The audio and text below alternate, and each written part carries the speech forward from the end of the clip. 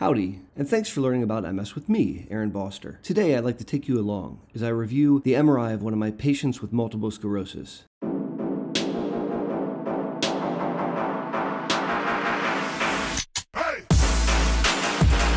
We'll start by splitting the screen in half, putting her new scan that she just completed November 24th of this year on the left. We're going to be comparing it to a scan that she obtained five months ago, June of this year. The scan done back in June showed new disease activity. And if the new scan shows ongoing disease activity, this will confirm for us that our current course of treatment is not working. And so the scan is obviously very, very important. As we come down through the very top of the head, we're going to start to see some white spots. So, like those white spots. Now, these white spots are from inflammation caused by MS. I'm now going to catch the scan up that was done five months earlier here on the right so that we can compare those lesions and make sure that they're not new. So, now they're coming into view, and actually, already I have a very serious concern.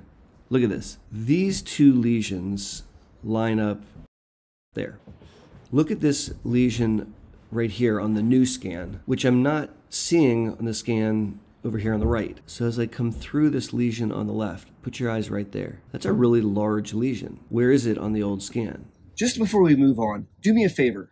If you like this video, give it a thumbs up. Also, if you haven't yet, please consider subscribing to the channel. It helps out the algorithm and lets YouTube know that you like what I'm doing. Let's try to better characterize it. I'm going to change the pictures around a little bit so I can show you two different views of the MRIs that we're looking at. You see my cursor is cutting through this lesion, and that's what we see down, down here. So that is that. Now, by looking at the same side view or sagittal view on the old scan, it helps us characterize this a little bit more. So there you can see that if anything, this one has gotten significantly bigger. And so we have found evidence of an enlarged a T2 bright lesion. The last thing that I want to do is to see if it enhances. And so I'm going to switch my screen around. I'm now only looking at the new study. I'm not looking at the old study. And I'm going to change the sequence to after the administration of the contrast dye.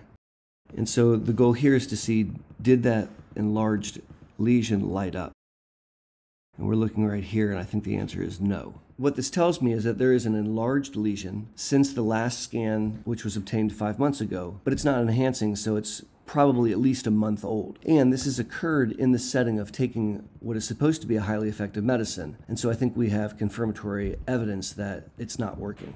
If you'd like to see more videos like this where I take you along as I review MRIs of people impacted by MS, helping you better understand the anatomy and pathology of MS and how we use the scans to make decisions, leave me a comment in the section below. Until my next video or my next live stream, or even better yet, the next time I see you at the Boster Center for MS. This is Aaron Boster saying be safe, take care.